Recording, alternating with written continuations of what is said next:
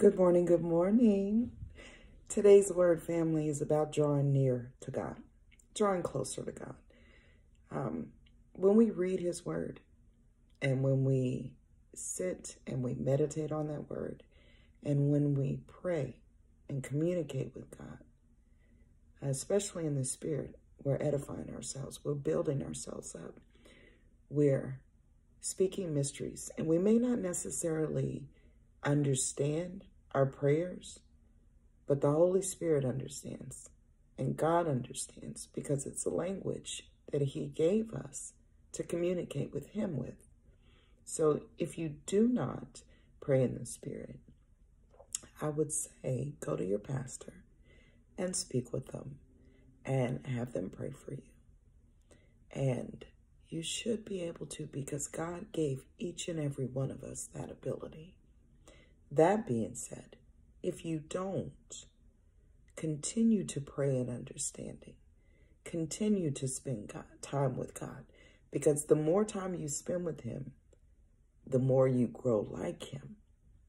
And it's just like an earthly thing, a natural thing. When you're around somebody for a long time, you start to pick up their mannerisms, um, and y'all start to appear similar. Well, that's what we want when it comes to God. We want to appear like him.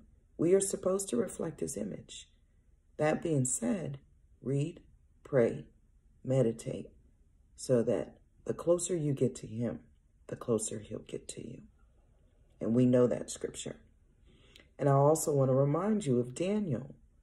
When Daniel heard that the law was passed, that they weren't supposed to uh, worship anyone but the king, what did he do? He went home. He bowed down and he prayed as he had been doing. He did not stop doing what he was doing to become closer to God. He didn't pray in the spirit. He prayed in understanding, and God was with him. And God rebuked the devourer for his namesake. He kept him, just like he'll keep you. So if you want your life to change, you want to start making changes for the better, then sit down and read your word. It'll stay with you. You can meditate on it day and night. You can think about the promises of God. And remember, every shall is loaded. It's a promise. And God keeps his word. It does not leave him to go unaccomplished. It leaves him and it does exactly what he wills it to do. And we have that same power. So start waking up in the morning. Start saying the things that you want to say. Start declaring what's going to happen in your day. You're a king and you're a priest. And you have the ability to declare.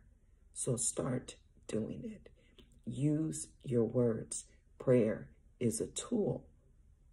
And we need to start using it as it was given to us and not putting it aside or propping a door open with it. It's not what prayer is for. It is a powerful tool. So let's start putting that tool to good use. Have a wonderful day, family. I love you, and God loves you more. Bye.